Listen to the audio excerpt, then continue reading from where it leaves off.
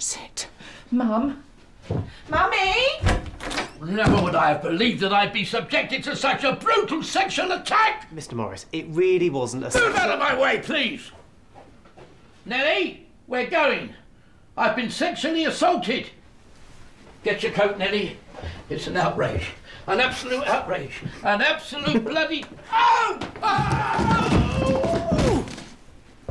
Oh my god. Oh my god. Lou! Mr. Morris? What's going on? Sorry, I'm sorry. Is he dead? Lou! Sorry. Oh. Oh. oh. Think you're tough, do you? I didn't mean to. You filthy slanderer! It's okay, Mr. Morris. Let's see what you've got then. Come on, pull him up! What? Put 'em up, half pint, come on! Put him up? Come on, put 'em up! Lou, stop it! Now, Mr. Come on. Morris, please. Oh, your top's come off, has it? You want so as well, do you? Right! Mr. Morris? Oh, Lou! Come on! Put 'em up! Mr. Morris.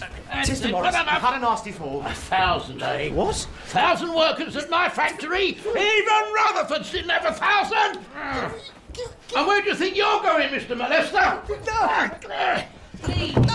Sitting in an old man's undergarments? Get off me! Stop it, Lou! Pull your trousers up and fight like a man. You're a lunatic. Come on then, fight the lunatic. Right, you, enough. Get off me. Careful, Martin!